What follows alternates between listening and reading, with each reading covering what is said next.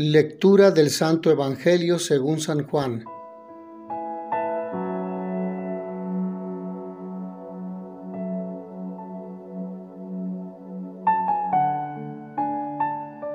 En aquel tiempo Jesús se fue a la otra orilla del mar de Galilea o lago de Tiberíades.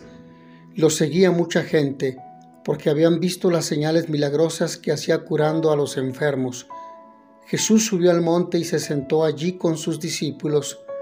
Estaba cerca la Pascua, festividad de los judíos. Viendo Jesús que mucha gente lo seguía, le dijo a Felipe, ¿Cómo compraremos pan para que coman estos? Le hizo esta pregunta para ponerlo a prueba, pues él bien sabía lo que iba a hacer. Felipe le respondió, Ni doscientos denarios de pan bastarían para que a cada uno le tocara un pedazo de pan. Otro de sus discípulos, Andrés, el hermano de Simón Pedro, le dijo, Aquí hay un muchacho que trae cinco panes de cebada y dos pescados. Pero, ¿qué es eso para tanta gente? Jesús le respondió, Díganle a la gente que se siente. En aquel lugar había mucha hierba. Todos pues se sentaron ahí y tan solo los hombres eran unos cinco mil. Enseguida tomó Jesús los panes y después de dar gracias a Dios, se los fue repartiendo a los que se habían sentado a comer. Igualmente les fue dando de los pescados todo lo que quisieron. Después de que todos se saciaron, dijo a sus discípulos, recojan los pedazos sobrantes para que no se desperdicien los recogieron y con los pedazos que sobraron de los cinco panes llenaron doce canastos. Entonces la gente, al ver la señal milagrosa que Jesús había hecho, decía, Este es en verdad el profeta que habría de venir al mundo. Pero Jesús, sabiendo que iban a llevárselo para proclamarlo rey, se retiró de nuevo a la montaña él solo. Palabra del Señor.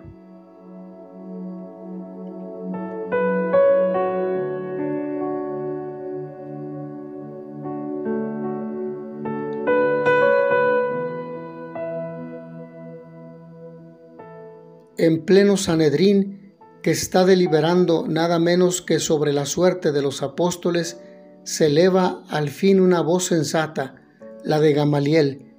Él, apoyándose en hechos recientes y muy concretos, trae a colación un principio bastante esclarecedor, válido por cierto para cualquier circunstancia de la vida y de la historia. Las obras que no vienen de Dios al final de cuentas caerán por sí mismas. Las que vienen de Dios, en cambio, superarán airosamente todos los obstáculos y todas las resistencias que puedan provenir de los hombres. La multiplicación de los panes es el único milagro narrado por los cuatro evangelistas. Ello muestra la gran importancia que la Iglesia apostólica le atribuyó desde siempre.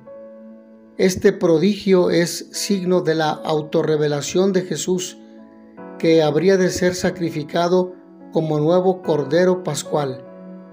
De este modo su carne sacrificada será el nuevo maná de la Pascua cristiana, tal y como nos lo irá aclarando el subsiguiente discurso del pan de vida. Los gestos del Señor ante este sorpresivo portento son prácticamente idénticos a los de la última cena. Que este evento milagroso que el Señor realiza sea significativo para que descubramos en Jesús que es el enviado del Padre, el Mesías, Dios con nosotros, prometido por los apóstoles, que camina junto a nosotros y muchas veces no lo reconocemos en los demás, en la gente que nos ama, en la pareja, en los hijos, en las personas que nos son poco gratas y que ha venido a dársenos como pan de vida para darnos la vida eterna. Que todos ustedes, mis hermanos, el Señor los bendiga y les dé la paz.